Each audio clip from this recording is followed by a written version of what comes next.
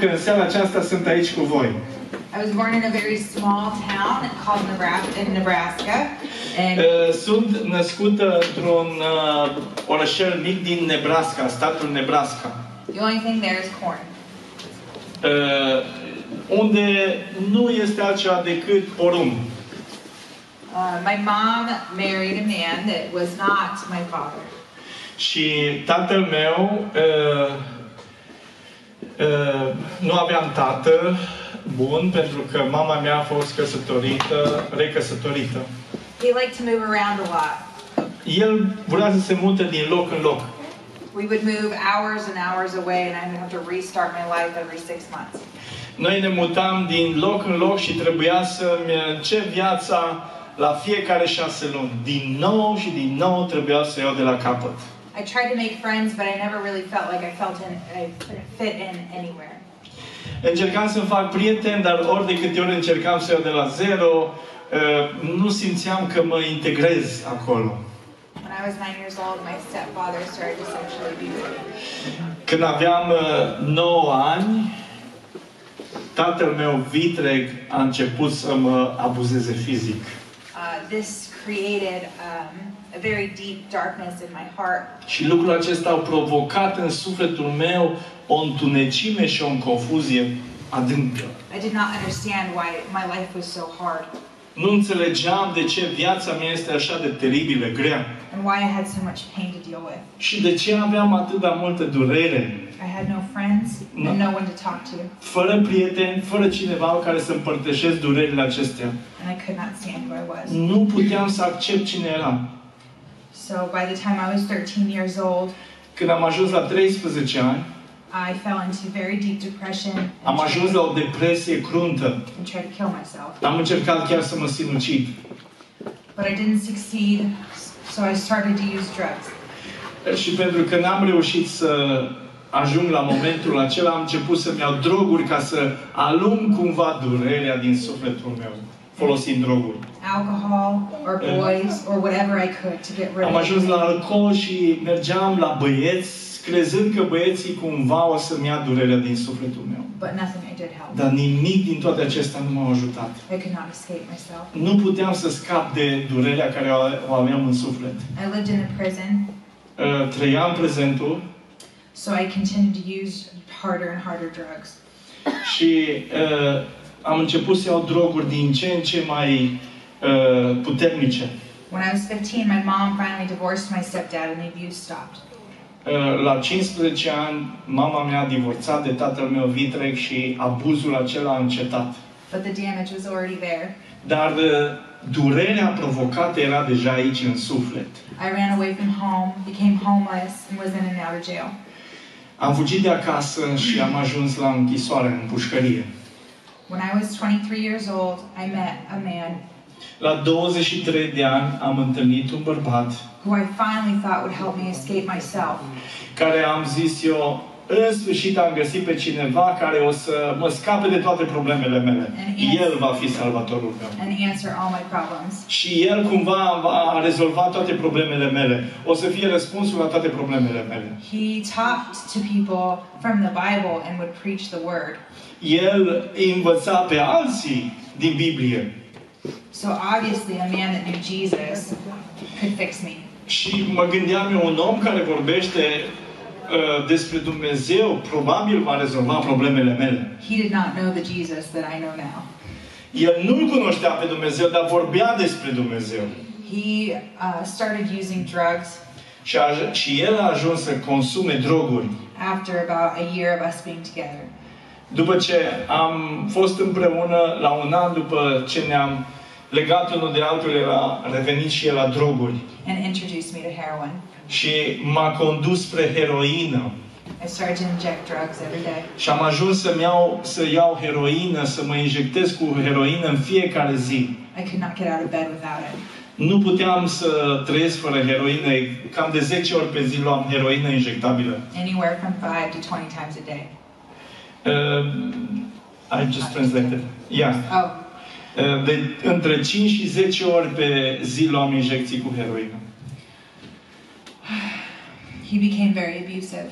Și el a ajuns să mă abuzeze fizic. Drugs made him crazy. Și m-a dus până la pragul nebuniei. He blamed me for everything, and so did I. Și m-a ajuns să mă blameze pentru ceea ce existam, ceea ce eram. I thought if I could get off drugs, then maybe I could save him Mă gândeam eu, dacă scap de droguri, poate îl salvez și pe el de droguri. because I was the problem. Pentru că ziceam eu, eu sunt problema.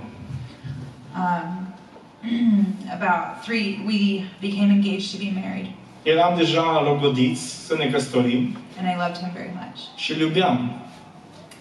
Um, when we were together for about three years, Când deja aveam trei ani, we um, got in a very bad fight, eh, am and ajuns să ne certăm foarte tare într-o seară he tried to strangle me, and I passed out.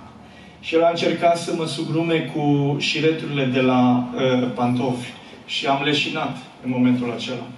When I woke up, he was dead. Dar când m-am trezit, lângă mine el era mort. Um, Because he used yes, he overdosed. Uh, din cauza că el și el luau heroină și s-a supradozat cu heroină și a murit de la heroină. I know that he was very mean man to me, but I didn't want him to die. Chiar dacă el era rău cu mine, nu-i doream moartea. I loved him. I didn't want. I wanted to marry him. Vreau să mă căsătoresc cu el, nu vreau să moară. I blamed myself for his death. M- mă învinuiam deja pe moară pentru moartea lui. I hated myself so Am much, ajuns să mă urăsc atât de mult and I couldn't escape it. și nu puteam să scap de ura aceasta împotriva mea. I cried out to God, Și am strigat către Dumnezeu, but the pain was still there. dar durerea era aici. Vina și rușinea era încă în sufletul meu. One day I fell on my face on the floor, Într-o zi am ajuns plecată pe podea, cu fața la podea și strigam. and I told, I said, God, Și am zis, Doamne, I don't care what I have to do, but I am zis, can't live nu this way. contează ce trebuie să fac, dar vreau să scap. Please, Lord, I'll do whatever it takes. Doamne, fac orice zici Tu. Please get rid of this pain. Dă la o parte durerea din viața mea. And it took some time. Și a trecut ceva timp. I went to a place called Mercy, Am ajuns la un centru de reabilitare numit Mila. who introduced me to the real Jesus. În centrul, aceste, în centrul acesta de reabilitare erau oameni credincioși și acești oameni credincioși cu adevărat îl cunoșteau pe Domnul Isus, Fiul lui Dumnezeu. Și ei mi-au spus de Fiul lui Dumnezeu care îi eliberează. The Jesus that's full of love Că Isus este plin de iubire and compassion, și compasiune. who made me for a purpose, Isus m-a creat pentru un scop. not for pain, Nu pentru durere. not for the agony I was living in. Nu pentru agonia în care trăiam. Who loved me El m-a iubit. and wanted me to love myself.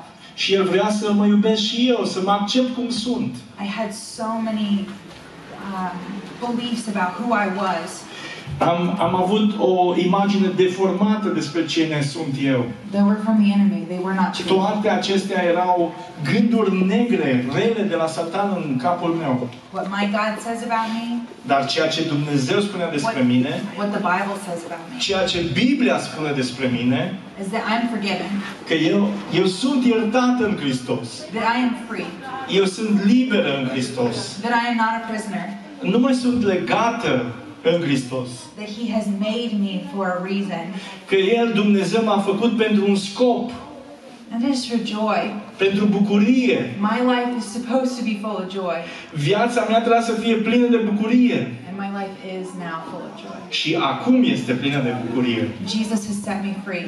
Isus m-a eliberat. I no longer use drugs, Nu mai consum heroină. but more than that, I no longer try and escape myself. Dar mai mult decât heroina, de faptul că m-a scăpat Dumnezeu de heroină, Dumnezeu m-a scăpat de ura care o aveam de mine însumi și m-am acceptat așa cum sunt. I love who I am because I love the Jesus in me. Și pen, pentru că îl iubesc pe Hristos care locuiește în mine, mă iubesc și am acceptat și mă accept și pe mine însumi. He saved me and created El me. m-a eliberat și m-a creat pentru un scop nobil. And now I am married with a godly husband and Și five acum, kids. acum sunt căsătorită cu un bărbat al lui Dumnezeu și avem cinci copii. And our life is full of joy. Și viața e plină de bucurie. And we come to Romania and Și tell am you about venit it. din, de dincolo de ocean până în România. And we go to our neighbor and tell them about them. Și about spunem la Jesus. vecinii noștri despre Isus. And anybody who will listen Și about what he's oricine done in my ascultă le life spune despre acest Isus care ne iartă și ne eliberează. and what he wants to do in your life. Și lu- acest Isus vrea să lucreze și în viața ta. Set you free Să te elibereze from yourself, de orice ești tu, from the lies you believe. de minciunile care ți s-au spus. Jesus came to save you, Isus a venit să te elibereze, să te ierte, să schimbe viața ta. not condemn you, Nu să te condamne, ci să te ierte, să te elibereze. for you to have a life abundant, Să ai o viață din abundență cu Hristos, full of joy. Plină de bucurie. Amin. Uh, viața acestei tinere, nu știu dacă cineva a trecut prin abuzurile acestea, prin durerile acestea, prin uh, suferințele acestea, prin droguri, să fii legat de droguri. Dar uite ce face Fiul lui Dumnezeu. Ce face Fiul lui Dumnezeu, Iisus Hristos. Și acest Iisus a venit așa cum ați auzit și prin Corint și prin mesaj, prin mărturia aceasta, să ne ierte păcatele.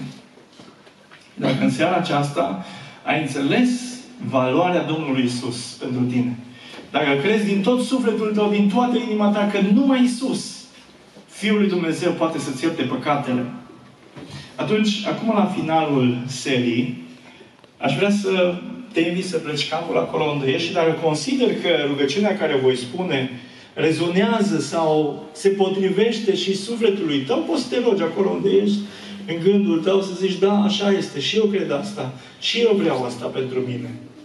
Dacă nu ți se potrivește ce mă voi ruga, nu trebuie să te rogi.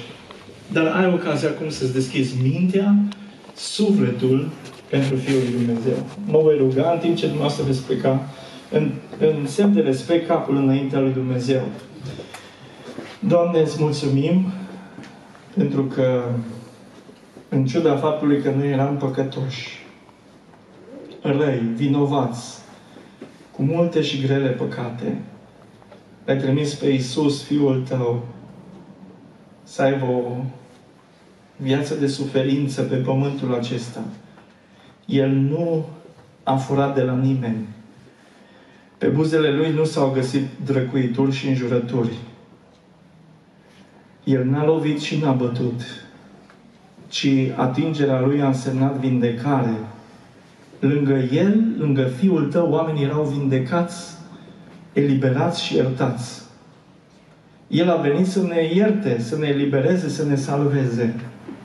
Și de aceea ne deschidem sufletul nostru, mintea noastră, inima noastră, viața noastră pentru Fiul Tău. Și dacă sunt aici, o Doamne, copii sau tineri, adulți sau oricine este aici cu o minte, cu un suflet deschis pentru Fiul Tău, mă rog în momentele acestea să se deschidă pentru Domnul Isus. Și numele Tău să fie binecuvântat acum și în toți vecii. Amin.